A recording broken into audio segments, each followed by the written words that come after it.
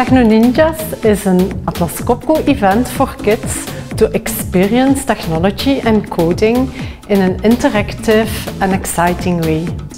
We have been running Techno Ninjas already four years and it's a big, big success.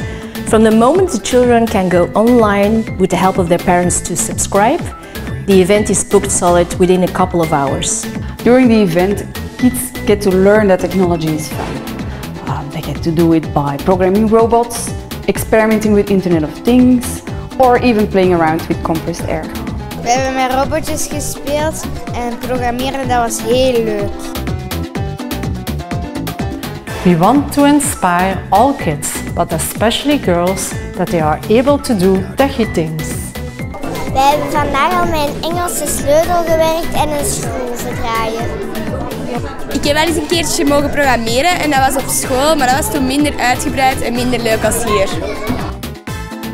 We also contributed to an episode on compressed air of the Ava and Trix game, which is actually an app everyone can install and it teaches kids technology through gamification.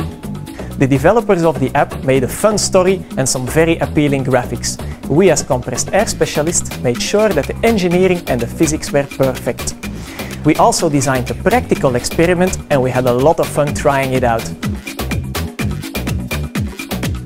We hebben vandaag een vogeltje gered en uh, met allemaal voorwerpen en met de iPads. This event is a nice opportunity for Atlas Copco to show it's a leader in technology and innovation. Wij hebben met Python een microbit aangestuurd. Hij is ook een plaatje met 25 ledjes waar dat twee knopjes aan staan.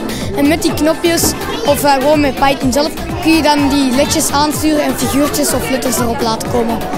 The event also strengthens the bond we have with our employees and the local community. Finally, it helps promoting gender diversity and inclusion, which for Atlas Copco is very important.